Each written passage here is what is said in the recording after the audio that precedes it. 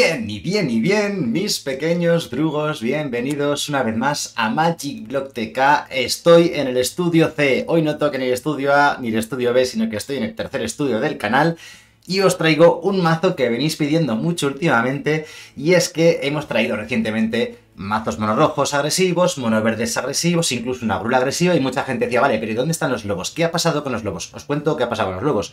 Que desde que rotó fuera de estándar la líder de la Joria Licántropa, el mazo ha perdido mucho y ya no es tan consistente como el año pasado. Y además el metajuego no le favorece nada. Así que yo ahora mismo yo os diría que no es el mazo más, más recomendado ahora mismo para intentar llegar a mítico. Sin embargo, yo os lo traigo por si os interesa y os guste lo queréis jugar. Vamos a probarlo también hoy, ¿vale? Como siempre, debajo del vídeo en la descripción os dejo el listado del mazo para que lo podáis exportar a Magic Arena. Vamos a comentar un poco cómo es la estructura de este mazo a día de hoy, cómo se podría montar. Aquí yo os propongo un posible listado y bueno, luego como siempre nos echamos unas partiditas a ver cómo se desenvuelve en el actual estándar. Como os digo, la líder de la jauría licántropa rotó fuera de estándar, ya no la tenemos disponible entre nosotros se nota mucho esa pérdida, pero es cierto que algunos otros elementos importantes del mazo siguen estando presentes, como son sobre todo el más destacable, el caso de Tobolar, que es la carta que te da robar cartas, te da ventaja de cartas, que cuando se da la vuelta se convierte en un monstruo muy peligroso, y bueno, es auténticamente la, la clave de todo. Si no te la matan, es posible que ganes la partida.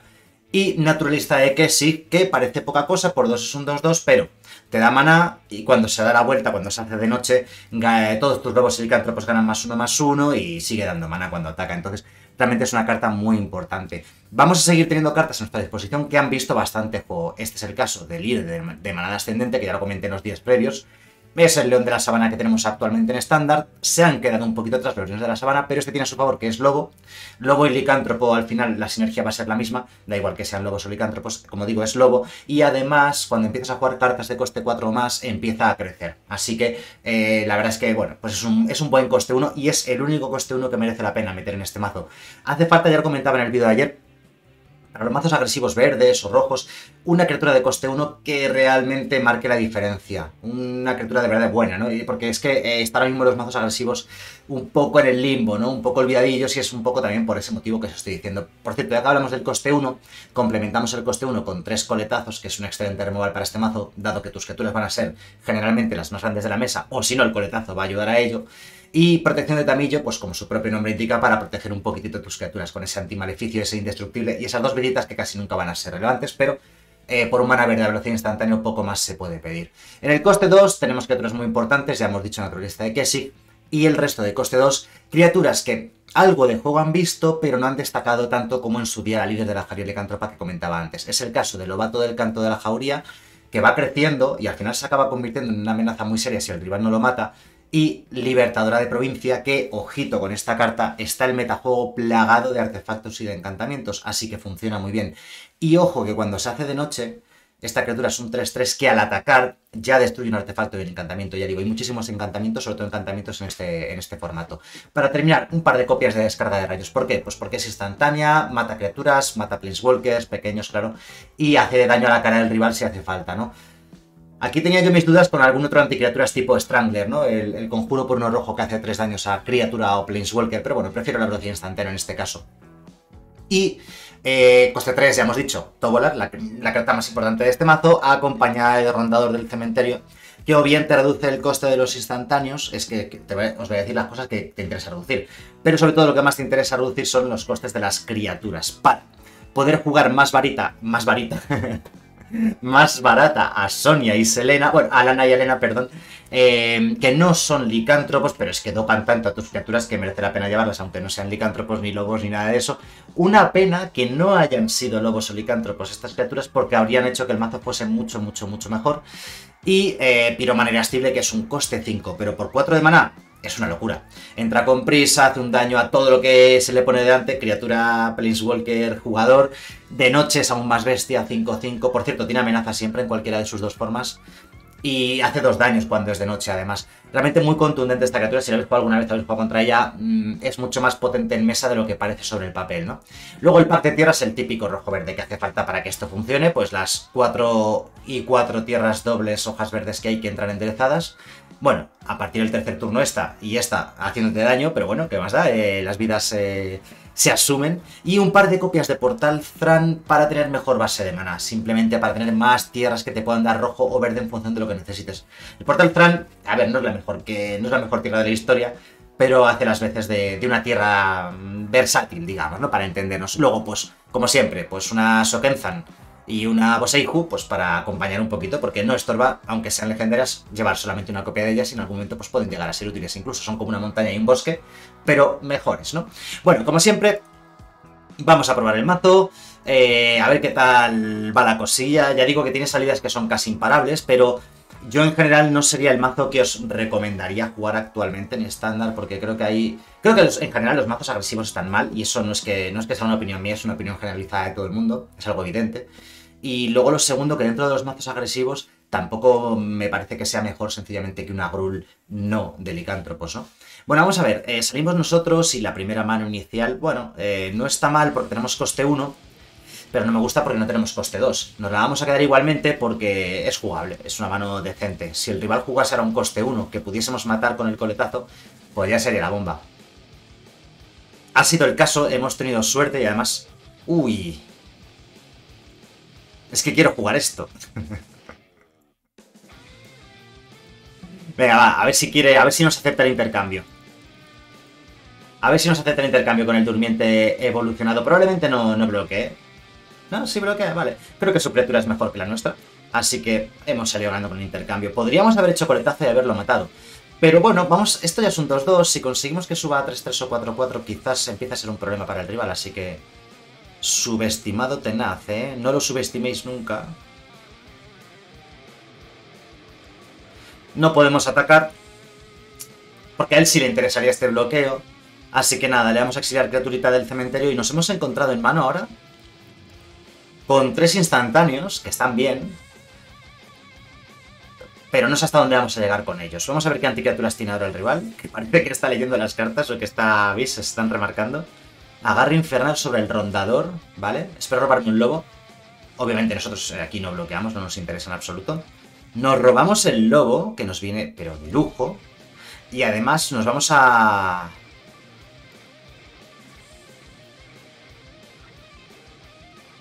Iba a decir, nos vamos a explayar con el coletazo, pero yo diría que no.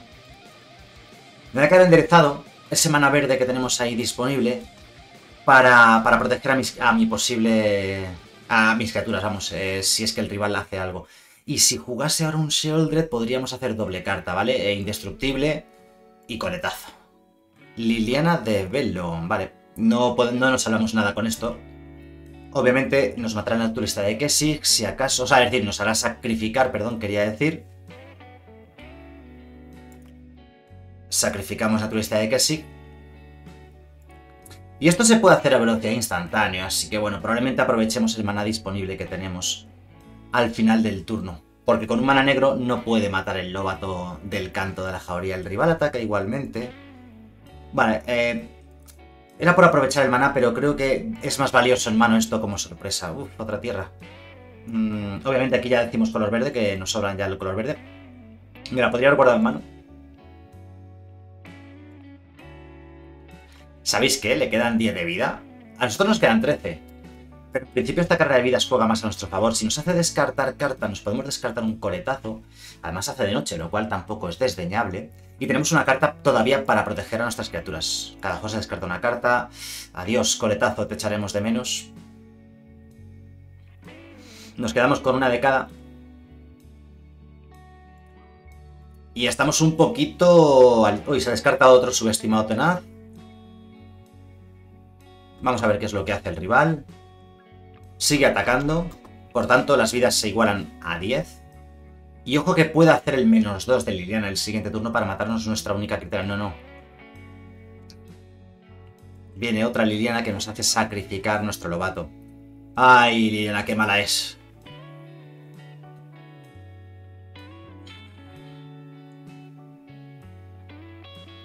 No creo que. No creo que gastar el coletazo para matar eso ahora sea. sea tan importante y aún así lo voy a hacer. Lo voy a hacer porque nos quedan 10 de vida, ¿vale? Esto entra con prisa si quiere, nos pega de otros 3, nos quedaríamos muy justitos. Y yo creo que va a merecer la pena. Bueno, no me acordaba de las vidas que ganábamos. Por cierto, no lo he comentado tampoco en el deck.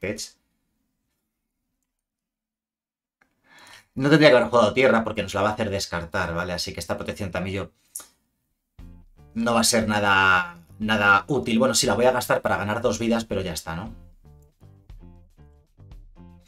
Porque se puede hacer sobre cualquier permanente, no, solamente sobre criaturas. Esto si controla un artefacto, roba carta, y si controla un encantamiento, roba otra carta, ¿no? Es una buena carta del del Camino. No es muy relevante, la verdad es que pocas veces la he visto llegar a usar. Y aquí solamente nos sirve robarnos la, la criatura de coste 5 o algo. Vamos a aguantar un... Vamos a jugar la tierra, ¿vale? Porque nos la va a hacer descartar si no. Eh... Solamente nos valdría robarnos la intimidadora, se llama, ¿no? La criatura de coste 5. Pero ni con esas, ¿eh? ¿Es noche? Es noche. Bueno, la verdad es que si robásemos la intimidadora, creo que se llama intimidadora, ¿no? Eh, haría dos daños a los Planeswalkers, dos daños a una criatura, dos daños a él, 4-4 prisa con amenaza. Lo malo es que con la Liliana nos la... No, porque la dejaremos con solamente un contador. Bueno, vamos a ver si nos la robásemos, pero tendríamos que robarla ya, ¿eh? Si no robamos ya la criatura grande, eh, esto no vale para nada. Todo lo que hemos hecho hasta este momento. Venga, ya, hombre. Fuera. Hemos robado todo, tres o cuatro tierras seguidas justo al final cuando estábamos pidiendo un poquito más de cremita. Vale, pues ya hemos visto que no. Que de momento esta primera partida eh, no ha sido la bomba ni para él ni para mí. Sido una partida yo creo bastante normalita y nos ha sobrepasado bastante. La verdad es que sí, las lirenas han dolido mucho, ¿eh? Las dos lirenas. Hemos robado pocas criaturas, también es cierto, quizás. Nos hemos liado a robar coletazos y tierras y hemos robado muy poquitas criaturas, también es cierto, ¿eh? Pero bueno, vamos a ver, venga, segunda partida. Así es la vida del jugador de Magic, unas se dan, otras se pierden, todo se aprende y a veces es inevitable, ¿no? Y la mano, bueno, la mano pues, pues es la mano que nos ha tocado, no, no hay mucho que decir. Nos la tenemos que quedar porque tenemos dos tierras y criaturas de coste 2, sale el rival, lo cual es una desventaja, pero bueno. Y otra criaturita más. Ah, vamos a guardar... Casi tontería guardarla, ¿vale? Pero bueno, vamos a guardar la tierra verde en mano por si nos robamos cuatro bosques seguidos, pues consolamos la Bosei para más adelante. Efectivamente, no, ha sido el caso. Y el rival ha salido con dos pantanos. Es decir, el primer lobato del canto de la jauría nos lo va a matar. Se lo voy a tirar ya a bocajarro para que lo mate si, quiera, si quiere. Y luego ya veremos más adelante.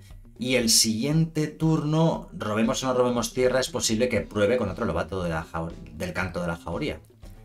Lilianita del velo, ¿eh? Vale, nos hace sacrificar el lobo. Hemos robado tierra, lo cual no está mal. Qué pena que el coletazo no hace daño a Planeswalkers. No es como otros removals eh, recientes.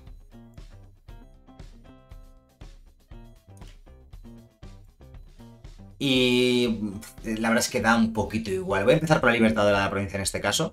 Para no dar pistas al rival de que tenemos otro lobato de estos. Y el siguiente turno sí jugamos el lobato. Básicamente porque si se hace de noche, si el rival no jugase nada, cosa que sería bastante extraña, pero no imposible. ¿Qué nos quitamos de aquí? Venga, un coletazo. Espero no arrepentirme. De momento no ha jugado ningún hechizo. Sí, sí juega un hechizo. Otro transferir el alma ahora. Vale, pues nada, doble. No es, mira, dentro de lo que cabe, doble criatura. O sea, no está tan mal, ¿no? Si elige que nos descartemos. Uf, difícil decisión, ¿eh? Habría que descartarse el coletazo, supongo, a estas alturas. Eh, y si elige sacrificar criatura, tendríamos que sacrificar la libertadora de provincia, probablemente. Vale, jugamos contra Mono Black Control. Como la partida anterior, está el metajuego lleno. Yo os diría que en general el color azul y el color blanco son colores muy buenos contra, contra el mazo del rival, contra el azul blanca. O sea, contra la mono negra de midrange o mono negra o con, o con rojo o con lo que lleven. Pues nada, el coletazo fuera, nos queda Sony y Selena para intentar ganar esta partida. Creo que hay que ir con Sony y Selena. Es un coste 4, aprovechamos el turno muchísimo más. Sí que, que jugando un Lobato. Ya sé que este Lobato no crece, Y este lobato tampoco crece de forma endógena, de forma propia por su habilidad, quiero decir, pero está así. Por cierto, estoy en alcance, Sony y Serena, así que pueden bloquear al, volador si el rival no se diese cuenta del tema, del percal. Eh, vamos a proseguir con el asunto, ¿no? Obviamente, el Sorin. El Sorin va a morir. Yo creo que es casi inevitable. Lo malo, el problema, que nos va a bloquear a Sony Serena y gana dos vidas. Y luego eh, no sabemos si atacará o no atacará, pero gana otras dos vidas. En caso de que ataque, gana dos vidas. En caso de que se quede bloqueando, pues otras dos vidas. Pero creo que teníamos que hacerlo, ¿no? Creo que había que matar el Sorin, que podría ser un poquito pesado.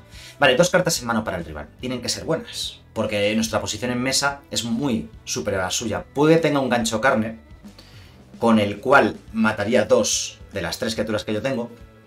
Pero no sería suficiente. No, mataría solamente una, perdón. Tiene 5 de mana, había contado 6. Vale. Pues... Pues adiós Sonia y Selena. Creo que esta ya crece lo suficiente por si sola. Le quedan 22 de vida al rival, ¿eh? Y acaba de robar dos cartas extras. No es mala esa carta, me han dicho, ¿eh? La, la infravaloramos bastante en su momento. Voy a jugar el bosque por una sencilla razón, es que lleva valerianas y podría hacérmelo descartar. Y no quiero que me lo descarten. No tiene ni una sola criatura en el cementerio, ni un solo instantáneo. O sea, no hay ni una sola carta del mazo de las que tiene en el cementerio que nos favorezca. ¿Y de mi cementerio? Ah, puedo exiliar de mi cementerio, claro. Exilio una criatura de mi cementerio, así las criaturas me cuestan un mana menos. Por tanto, quizás no habría hecho falta que jugásemos la tierra. Mientras tuviésemos el rondador en mesa, ¿no? Al final esta carta... le falta algo más, ¿verdad? Que tuviese alcance. Ahora me gustaría que tuviese alcance en este momento. Para poder bloquear su vampiro si ataca. Y ahí viene el amigo de los niños, Seoldred, toque mortal, Seoldred. No es mal robo. Este día, qué pena, ¿eh? Obviamente, no hay muchas vueltas de hoja que dar aquí. Hay que atacar con todo. Me, me bloqueará, supongo, eh, me bloqueará al rondador con Seoldred para no perderlo. Pero, y robamos solamente una carta, pero esa carta que robamos va a ser otra criatura. Muy buena además. Tan buena como esta. Eh, no, este, en este caso no la voy a jugar, porque si con Liliana me la hace descartar, pues tampoco pasa nada, ¿no? Ahora ya sí, o sea, ya con Tobolar ya no ataco, ya conservo el 7-7 y el 6-6. Tendrá que bloquear al 7-7, lo vamos a perder. Gancho de 4, ni más ni menos, o sea que Seoldred se salva. Pero nos mata el Tobolar. Nos quedan pocas vidas, ¿eh? A ver, la buena noticia es que nos quedamos en mesa con una criatura muy grande.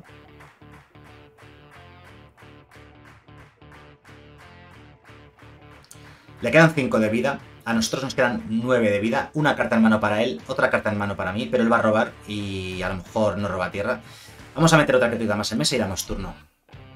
A ver, si nos top deckamos un par de cartas buenas seguidas. La cosa es nuestra. Pues un Tobolar, una imitadora se llama. La 5, la 4-4 presa amenaza o como se llame. Esa.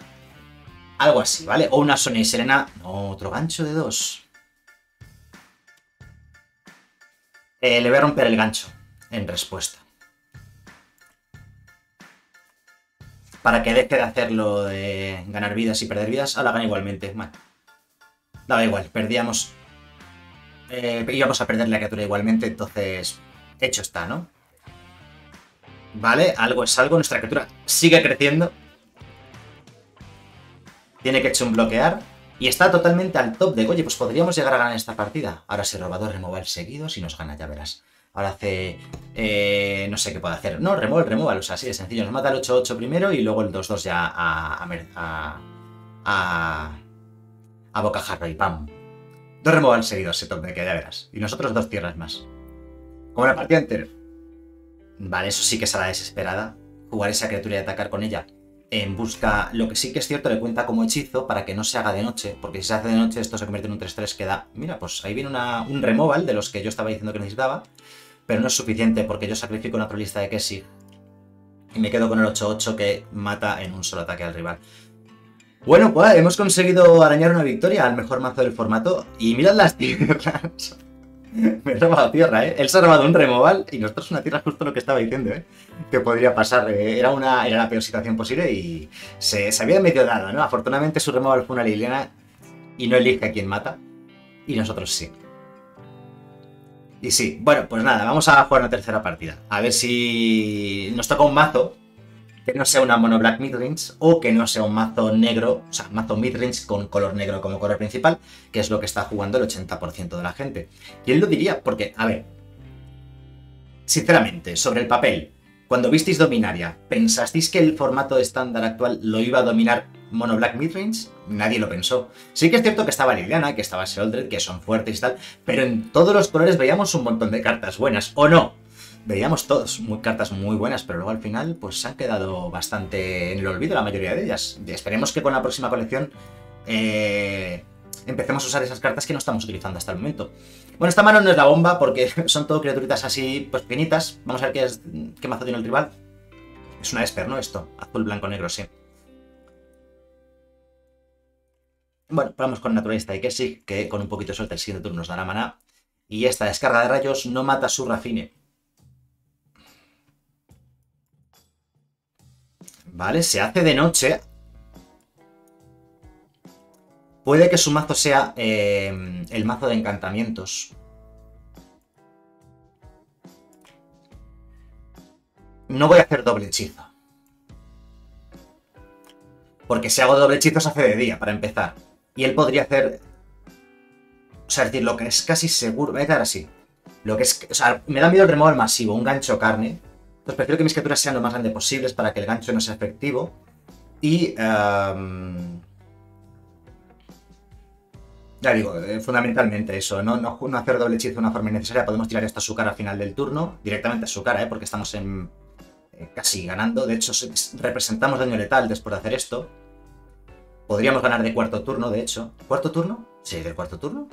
Sí, sería cuarto turno la victoria. Supongo que un tobolarcito tampoco está mal, ¿verdad? Para robar alguna carta extra. Aquí sí realmente corremos un poquito de riesgo. Bueno, poco, poco riesgo podemos correr, ¿vale? Si me lo contrarresta, me lo contrarresta. Si me lo mata, me lo mata. Le quedan 9 de vida y esto pega 10. Entonces, eh, está un poco contra las cuerdas. No puede matar al Tobolar, tiene que matar uno de los que está en mesa.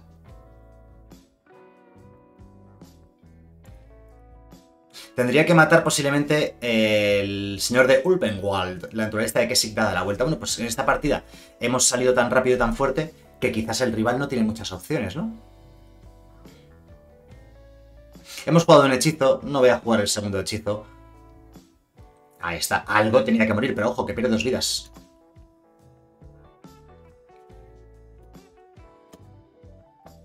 Vale, mm, robamos dos cartas de nuevo. Está con dos de vida nada más. A ver qué dos cartitas nos vienen. Dos tierras, ¿eh? Qué bien. Ah, metemos otra criatura en mesa. 3-3, 2-2 podría hacer... No, no, no queremos. No queremos porque si metemos em, la Libertadora de Provincia se queda doble hechizo, se haría de día otra vez, pasarían a ser dos doses, nos hace gancho de dos y nos va a la mesa. Se quedaría esto. Bueno, es que perdería igualmente. No, bueno, ganaría... Espérate, se morirían tres criaturas, ganaría tres vidas. Nos quedamos como estamos, que estamos contentos así. Y, creo que es lo más seguro para nosotros, ¿no? Por cierto, ojo con Boseiju, que rompe encantamientos, artefactos o tierras no básicas ahora mismo por un maná, porque tenemos una legendaria en mesa. Y a lo mejor el rival no se lo espera tampoco. Ah, has perdido. Hemos salido demasiado gancho de cero, ¿vale? Hemos salido demasiado fuertes. Hemos salido fuertes, hemos salido nosotros, lo que decía, que este mazo hay algunas partidas que se las lleva así.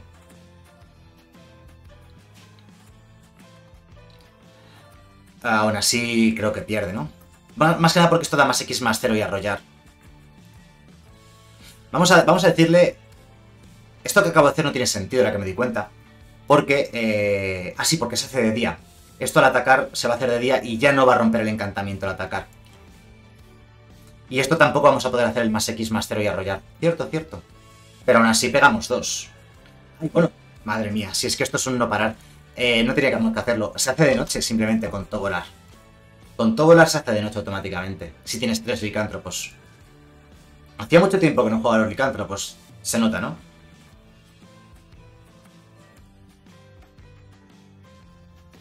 El rival no es de los que se rinde.